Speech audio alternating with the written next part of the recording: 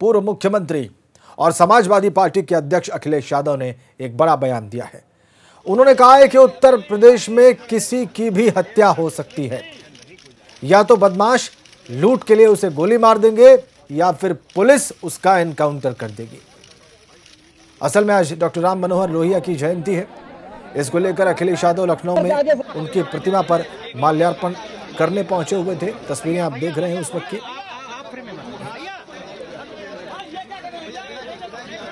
इसी मौके पर अखिलेश यादव ने यह बयान दिया है। ये तीखा प्रहार उत्तर प्रदेश की कानून व्यवस्था पर, उत्तर प्रदेश की सरकार पर, उत्तर प्रदेश की पुलिस पर। अखिलेश यादव का।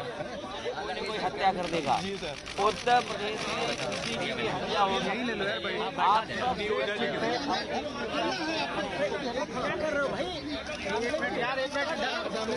या लूट के बहाने कोई न उत्तर प्रदेश में किसी की भी हत्या हो सकती है। आप सब सुरक्षित रहें अपनी सुरक्षा स्वयं करें। उत्तर प्रदेश में हत्या या पुलिस कर देगी या लूट के बहाने कोई न कोई हत्या कर देगा। किसी की भी हत्या हो सकती है। आप सब सुरक्षित रहें अपनी सुरक्षा स्वयं करें। उत्तर प्रदेश में हत्या या पुलिस कर देगी या लूट के बहाने कोई न कोई हत्या कर देगा। उत्तर प्रदेश में किसी की भी हत्या हो सकती है। आप सब सुरक्षित रहें अपनी सुरक्षा स्वयं करें। उत्तर प्रदेश में हत्या या इस बयान। पर बातचीत करने के लिए हमारे सहयोगी वीरेश पांडे इस वक्त लखनऊ से हमारे साथ सीधा कनेक्ट है। वीरेश ये बहुत तीखा हमला बहुत ये जोरदार प्रहार उत्तर प्रदेश की कानून व्यवस्था पर पुलिस पर उत्तर प्रदेश की सरकार पर। इसके बाद क्या हलचल है वहाँ पे? देखिए जब अ, 2012 से और अ, 17 के बीच में अखिलेश यादव की सरकार थी विपक्ष में भारतीय जनता पार्टी थी और वो आरोप लगाया करती थी कि जो थाने हैं पुलिस है वो गुंडे चलाते हैं समाजवादी पार्टी की सरकार गुंडों की सरकार है इस तरह के आरोप लगाए जाते थे। और ये कहा जाता कि कहा जाता था कि उत्तर प्रदेश में जंगल राज कायम है। और वही स्थिति अब विपक्ष में अखिलेश यादव हैं और भारतीय जनता पार्टी और योगी आदित्यनाथ की सरकार पर लगातार निशाना साध रहे हैं। कभी वो ट्विटर के माध्यम से कभी बयान के माध्यम से जब वो झांसी के दौरे पर थे तब भी उन्होंने साफ़ साफ़ प्रेस कॉन्फ्रेंस करके ये कहा था कि उत्तर प्रदेश में हत्याएँ लगातार बढ़ रही हैं। आज भी राम मनोहर लोहिया के आ, के आ, जब पार्क में वो गए और उन्होंने वहाँ जब आ, मीडिया से बात करते हुए कहा मीडिया को भी संबोधित करते हुए उन्होंने कहा कि आप भी बच कर रहिए और ऐसी स्थिति में वो आप लोगों की भी किसी की भी कभी भी हत्या हो सकती है। यानी उत्तर प्रदेश में किसी की हत्या हो सकती है और आरोप उन्होंने जो झांसी में लगाया था वही आरोप यहाँ भी उन्होंने लगाया और कहा कि आप या तो गुंडे कर सकते हैं या पुलिस कर सकती है। तमाम तरह के आरोप बहुत बहुत बहुत बहुत तीखा प्रहार बहुत तीखा प्रहार किया उन्होंने लोहिया पार्क में। पुष्पांजलि अर्पित करने के बाद, माल्यार्पण करने के बाद वीरेश आप हमारे साथ रहिए, हम आपसे बातचीत करेंगे, लेकिन इस बीच में बीजेपी के प्रवक्ता शलभ बड़ी त्रिपाठी हमारे साथ फोनलाइन पर जुड़ गए हैं। शलभ जी, आपका एबीपी गंगा पर स्वागत है। अखिलेश यादव के इस बयान पर आपकी टिप्पणी क्या है? तो देखिए, अखिलेश यादव जी बौखलाए हुए हैं और समाजवादी पार्टी की सरकारों में उत्तर प्रदेश में किस तरह के हालात रहे हैं, कानून व्यवस्था किस तरह बदतर रही है, किस तरह पुलिस वालों की हत्याएँ होती रही है, किस तरह आम लोग मारे जाते रहे सभी को याद है। और हमें कहने की आवश्यकता नहीं है। समाजवादी पार्टी की सरकार से उब कर ही जब प्रदेश की जनता बिल्कुल त्रस्त हो गई थी तो बहन मायावती जी ने एक नारा भी दिया था कि चढ़ गुंडों की छाती पर, मोहर लगाओ हाथी पर। तो समाजवादी पार्टी का परसेप्शन, समाजवादी पार्टी की पहचान उत्तर प्रदेश में क्या रही है, किसी को बताने की आवश्यकता नहीं है। आज उत्तर प्रदेश में कानून व्यवस्था बेहतर हो रही है। आज उत्तर प्रदेश में पुलिस का मनोबल ऊपर है। आज उत्तर प्रदेश में अपराधी प्रदेश छोड़ के भाग रहे हैं, जेलों में जा रहे हैं या एनकाउंटर में मारे जा रहे हैं। इस तरह की तस्वीरें आ रही है कि पुलिस के अधिकारियों के पास जाकर सरेंडर कर रहे हैं कोर्ट में जाकर अपना आत्मसमर्पण कर रहे हैं। तो ये जो स्थिति बेहतर हुई है, कानून व्यवस्था अच्छी हुई है, ये समाजवादी पार्टी को रास नहीं आ रही और इसीलिए समाजवादी पार्टी का हमेशा से इतिहास रहा है कि ये हमेशा जो क्रिमिनल एलिमेंट है, उनके साथ खड़े होते आए हैं। और इसका सबसे बड़ा उदाहरण तो तब था जब आतंकवादियों के पक्ष में जाकर खड़े हो गए थे। जो सीरियल ब्लास्ट हुए थे अयोध्या में, लखनऊ में और वाराणसी में उसमें जो आतंकवादी पकड़े गए थे जिनको सेंट्रल एजेंसीज ने पकड़ा था उनको अखिलेश यादव जी की, की सरकार ने उनके मुकदमे वापस लेने का प्रयास किया। और बाद में इन्हीं आतंकवादियों को कोर्ट ने सजा दी और ये कहा कि ये बहुत ही खूंखार आतंकवादी थे। तो समाजवादी पार्टी की तो पहचान नहीं है। समाजवादी पार्टी का चरित्र यही है कि क्रिमिनल एलिमेंट के साथ खड़े होते हैं जो जो एंटी सोशल एलिमेंट्स हैं उनके साथ खड़े होते हैं। तो हमें उनसे नफरत की आवश्यकता नहीं होती। जी। नहीं ये आ, समाजवादी पार्टी के समय में क्या हुआ ये एक विषय है। लेकिन अभी चर्चा इस बात की है कि इस वक्त क्या हो रहा है।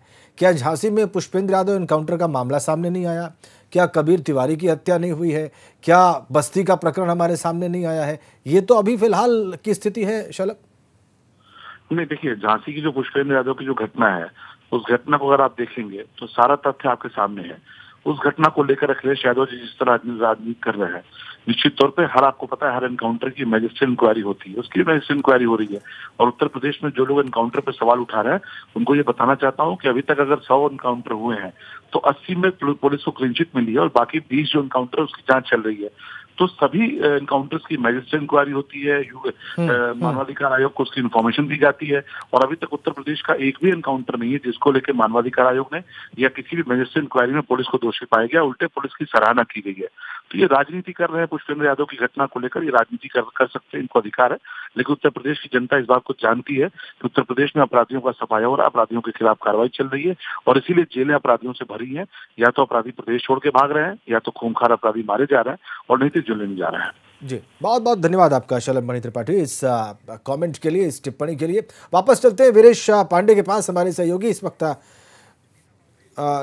लखनऊ में हैं, उनसे हम बातचीत करेंगे, वीरेश से हम बातचीत करेंगे, लेकिन शबाना खंडेलवाल, कांग्रेस नेता इस वक्त हमारे साथ फ़ोन लाइन पर जुड़ गई हैं। आपकी टिप्पणी क्या, अखिलेश यादव देखिए विपक्ष में हैं, और वो ये कह रहे हैं कि हत्या प्रदेश है, उत्तर प्रदेश, यहाँ पर किसी की भी हत्या हो सकती है। या तो लूट के मामले में कोई गोली मार देगा किसी को, और अगर वो बच गया तो पुलिस मार देगी। बहुत गंभीर आरोप लगा रहे हैं व्यवस्था पर, आप इससे सहमत हैं, शबाना? जी, मेरी सोच एकदम अलग है। उनका बयान कहीं प्रशासन की तरफ़ जो खिलाफत कर रहा है, वो एकदम ठीक है कि प्रशासन यहाँ निरंकुश हो चुका है। कोई सुनने को किसी की तैयार नहीं है। मगर मैं इस बात से बिल्कुल सहमत नहीं हूँ कि अगर किसी के ऊपर आरोप लगा है या वो अपराधी है, जब तक उसकी सही जाँच, सही जानकारी ना हो, उसको पनिशमेंट भी दिए जाए, गोली मारने का अधिकार किसने दिया प्रशासन को? ये सजा निर्धारित कोर्ट करता है ना। तो ये मैं इस बात को खंडन करती हूँ अखिलेश जी ने अगर ये बोलना कि सीधे गोली मार देनी चाहिए हम उस दृष्टि से उन्होंने अगर नहीं नहीं नहीं शबाना शबाना ये ये बयान नहीं है ये बयान नहीं है उनका मैं स्पष्ट कर दूँ।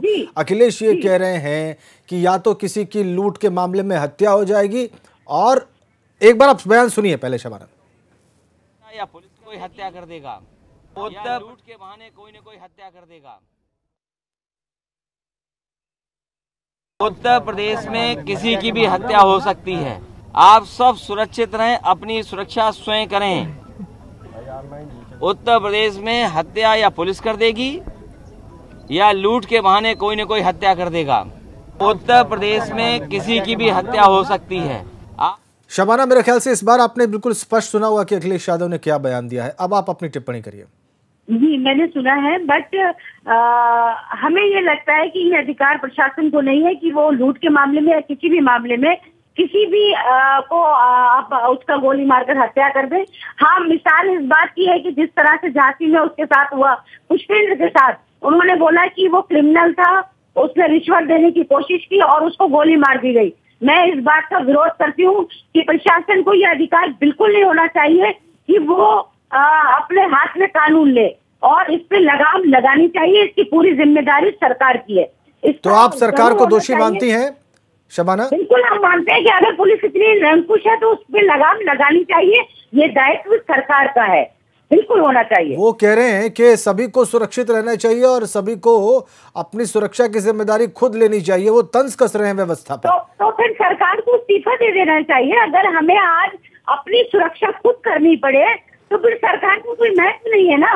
सरकार को इस्तीफा दे देना चाहिए या फिर पूरे उत्तर प्रदेश उत्तर प्रदेश के अगर मुखिया है तो उनकी ये मतलब एक परिवार है हम्म। और उस परिवार की रक्षा करना पिता का धर्म होता है।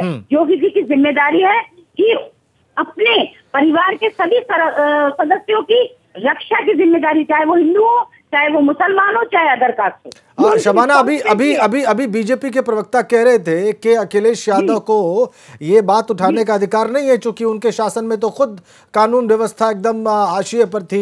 एक के बाद एक आपराधिक कृत्य होते थे तो उनको तो कोई राइट ही नहीं है। आप बीजेपी के। स्टेक पर क्या कहेंगे? मैं उनकी बात से बिल्कुल सहमत नहीं हूँ क्योंकि अब जो हत्याओं का गिराफ बढ़ा है वो बहुत ज़्यादा है। बेटियाँ ज़िंदा जलाई जा रही है बेटियों की आबरू लूटी जा रही है। एक्सप्रेसवे पे लूट हो रही है, कहीं हत्या हो रही है, पुलिस निरंकुश है, लोगों की बेगुनाहों की हत्या कर रही है। बिना कुछ सवाल के एफआईआर दर्ज नहीं होती, उसमें देरी होती, इस सबकी रिस्पॉन्सिबिलिटी उत्तर प्रदेश सरकार की है और उन्हें उस पर कड़ा कदम उठाना ही चाहिए। नहीं तो मुझे नहीं लगता कि ये ज़िम्मेदारी उनके पास होनी चाहिए। लेकिन तर्क ये दिया जा रहा है शबाना कि लगातार पुलिस इनकाउंटर कर रही है। अपराधियों को जो है वो लगातार ढूंढा जा रहा है या तो सरेंडर कर रहे हैं, जेल जा रहे हैं, या फिर पुलिस उनको पकड़ लेती है। तो ये सब पुलिस की कामयाबी है जो अभूतपूर्व है, ये तर्क दिया जा रहा है। ये तो उनके आंकड़े हैं ना जो हमारे प्रवक्ता वहाँ होंगे आपकी बीजेपी की ये उनके आंकड़े हैं। मैं मुझे लगता है बेगुनाह लोगों को मारा जा रहा है। जैसे पुष्पेंद्र मान लीजिए अगर वो आ, आ, खनन माफिया आप कहते हो तो खनन माफियाओं का रोकने की ज़िम्मेदारी भी प्रेस की नहीं कहा यह जा रहा है शबाना बीजेपी की ओर से कि 70 प्रतिशत मामलों में मजिस्ट्रियल इंक्वायरी और ह्यूमन ह्यूमन राइट्स कमीशन की क्लीन चिट है सिर्फ़ तीन तीस प्रतिशत मामलों में जाँच चल रही है। ये तो देखिए इन्हीं के आंकड़े हैं ना हमें वो लिस्ट तो जारी करवा दीजिए सारी। सारे विपक्ष ये जानना चाहता है कि जिन लोगों के इनकाउंटर किए गए वो सही मायने में सही थे या गलत थे फिर तो हम जवाब खुद ही दे देंगे। ठीक है शबाना वैसे विपक्ष तो को भी दीजिए। विपक्ष को भी एक अपना एक आंकड़ा प्रस्तुत करना चाहिए जो प्रामाणिक हो और उसके बाद उसके तर्क में दम आ सकता है। बहुत धन्यवाद आपका। शमाना एबीपी गंगा पर अपना पक्ष रखने के लिए, अपनी पार्टी का पक्ष रखने के लिए। चलते हैं वीरेश के पास, लखनऊ। वीरेश आपने बीजेपी और कांग्रेस के प्रवक्ताओं का पक्ष सुना। ज़ाहिर सी बात है, अखिलेश के इस बयान के बाद वहाँ पर और भी राजनीतिक हलचल आपको दिखाई दे रही होगी, जिसके बारे में आप बता रहे थे। बताइए वीरेश। देखिए राजनीतिक हलचल जब से पुष्पेंद्र हत्याकांड हुआ, फिर कबीर तिवारी का मामला आया, उसके बाद से उत्तर प्रदेश में अगर विरोधी दलों की हम बात करें तो वो काफ़ी सक्रिय हुए हैं, चाहे वो कांग्रेस हो, चाहे बहुजन समाज पार्टी के जो प्रमुख हैं मायावती उनके ट्वीट के माध्यम से देखें। और अगर अखिलेश यादव की बात करें तो वो सड़क पर उतरे हैं। ये निश्चित रूप से कहा जा सकता है। अभी भी मैं समाजवादी पार्टी के दफ्तर के बाहर खड़ा हूँ और अखिलेश यादव अंदर कार्यकर्ताओं से मिल रहे हैं। लोहिया पार्क के बाद से वो यहाँ आए और कार्यकर्ताओं से मुलाकात कर रहे हैं। जो कुछ कार्यकर्ताओं से हमारी बात हुई, उनसे ये कहा गया कि अब संघर्ष का वक्त है, हमें संघर्ष करना है, सड़कों पर उतरना होगा। अखिलेश यादव ने जिन कार्यकर्ताओं और नेताओं को संदेश दिया, उनसे हमारी बात हुई।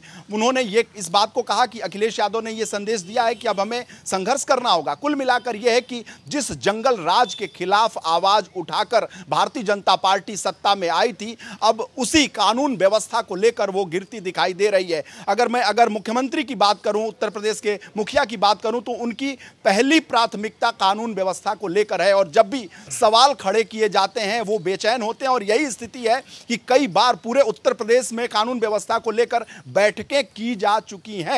और बड़े लेवल पर डीएम एसएसपी को बुलाया गया डीजीपी होते हैं होम सेक्रेटरी होते हैं सारे लोग उसमें मौजूद होते हैं और कानून व्यवस्था एक तरह से इनकी प्राथमिकता है। वही वजह है कि प्रधानमंत्री जब उत्तर प्रदेश में आते हैं तो कई बार सराहना कर चुके हैं योगी आदित्यनाथ की सरकार को लेकर। लेकिन जिस तरह की घटनाएँ हो रही हैं निश्चित रूप से सरकार के लिए चिंता का विषय है और सवाल खड़ा होना लाजमी है। विपक्ष वही काम कर रहा है अखिलेश यादव वही काम कर रहे हैं मायावती और प्रियंका गांधी वही काम कर रहे हैं। जो विपक्ष को करना चाहिए। बिल्कुल, कानून व्यवस्था अगर गड़बड़ है तो वो सवाल खड़ा करेंगे इस और वो स्वाभाविक है बिल्कुल आपने ठीक कहा वीरेश बिल्कुल ठीक कहा आपने वीरेश दिख के विपक्ष विपक्ष का जो काम है ऐसे विषय पर मुखरता से विरोध करने का वो सामने आ रहा है। बहुत धन्यवाद वीरेश आपका।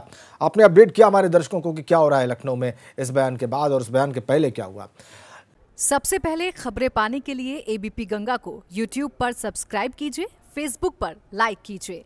फेसबुक पेज है www.facebook.com/abpganga ट्विटर पर भी फॉलो कीजिए। हमारा ट्विटर हैंडल है twitter.com/abpganga